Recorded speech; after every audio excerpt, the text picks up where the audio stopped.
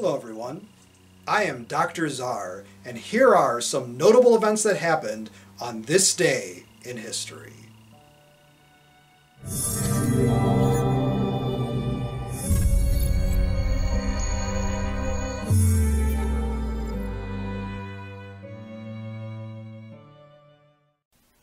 On June 30th, 1559, King Henry II of France engaged in a jousting tournament when his opponent's lance pierced the face guard of Henry's helmet, sending splinters into his face, eye, and brain.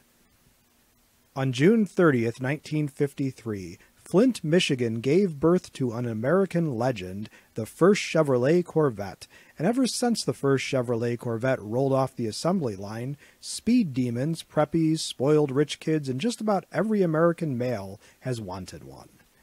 On June 30, 1966, the women's rights movement took a giant leap forward when the National Organization for Women, NOW, was founded by 28 women's rights activists. On June 30, 1994, Tonya Harding was banned for life from participating in figure skating events. On June 30, 2009, one of those fantastic tales of survival you think you would only see in the movies or in a fantasy novel really happened when an airliner crashed near the Indian Ocean island of Grand Comore, killing 152 of the 153 aboard the Airbus A310 jetliner.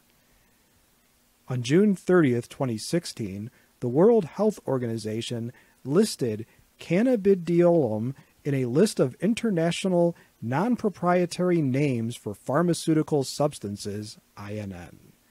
Finally, in July 2019, American rapper A dollar sign AP Rocky was arrested initially for aggravated, then for simple assault in Stockholm, Sweden, after an altercation in the street against Mustafa Jafari and another person that involved the American rapper and his entourage on June 30th.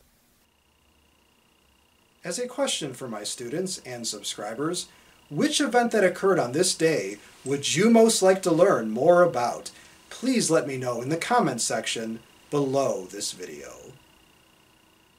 To learn more about each of the events mentioned in today's video, please visit the category for today's day on our website. If you like this video and would like to receive notification of new videos, please feel welcome to subscribe to History and Headlines and become one of our patrons. Your viewership is much appreciated.